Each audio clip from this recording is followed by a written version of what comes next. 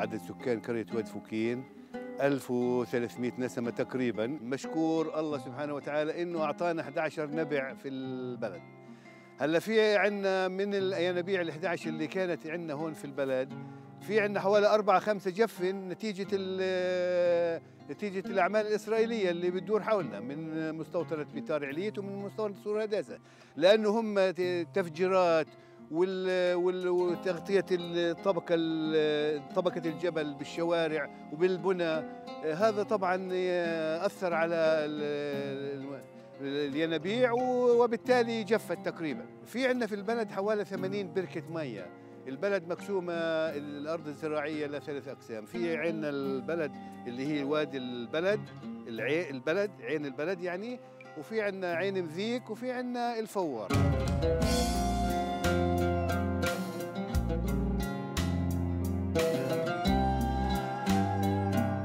بالنسبة للمياه العادمة اللي في القرية يعني أهل القرية كل واحد عنده حفرة امتصاصية. طبعا سويناها بطريقة حديثة جدا إنه في تحليلية وفي آه، تصريفية.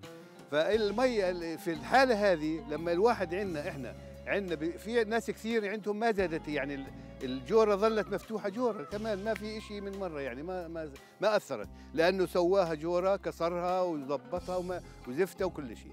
هلا إذا بزيد مرات عند ناس معينين إنه يزيد مية بيجيبوا تنكات صرف صحي وبدوها فيها المناهل تبعت المستوطنات. طبعا ماخذين أمر من المستوطن إنه يديروا في عندهم في المناهل.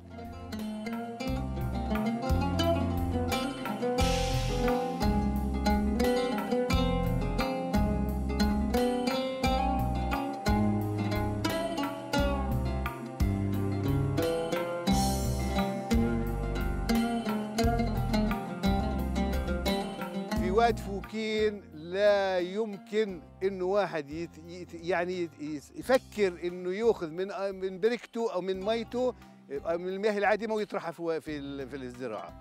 أنا عندي في البيت محطة معالجة لتكرير المياه العادمة. آه، بنجمع فيها مية الدش والمجلة المجلة والغسالة والمغسلة بنجمعها فيها الموتور بضخها على المزروعات اللي حوالين الدار على الأشجار على الورد بس كيف فيها كل شيء يعني. ما بحتاجش أستعمل الحنفية حنفية الدار.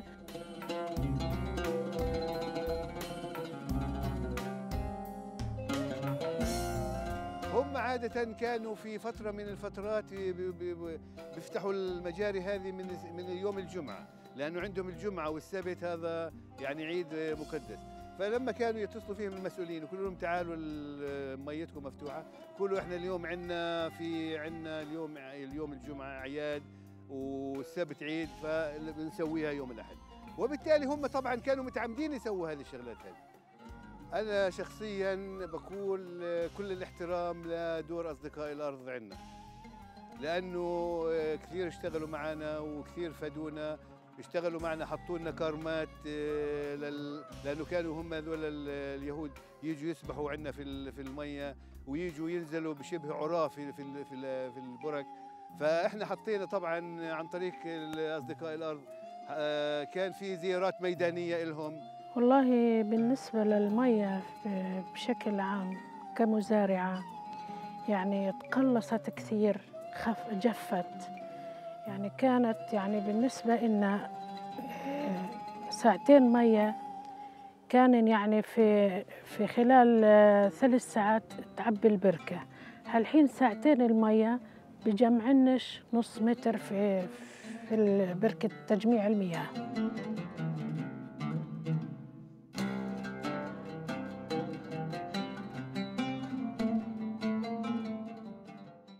إحنا عدنا للبلد هنا. في سنة 1972 في عندنا مستوطن السور هداسه هذه قاعدين كمان بتمددوا جهتنا. البتار عليت قاعدة بتتمدد جهتنا. الجبل هذا اللي هو جنب المدرسة هون اسمه خربة الخمسة. طبعا هذا جبل مصادر في منطقة سي. وهم مانعينا إنه نسوي أي تمدد هنا. المدرسة مثلا بحاجة لغرف صفية بحاجة لأسوار بحاجة لرعاية شوية أكثر. صرنا مع معروفين في في المنطقة. لازم إحنا بدنا يعني ال- ال- الينابيع بدها على طول باستمرار تنظيف وبدها عناية وبدها بدها انتباه.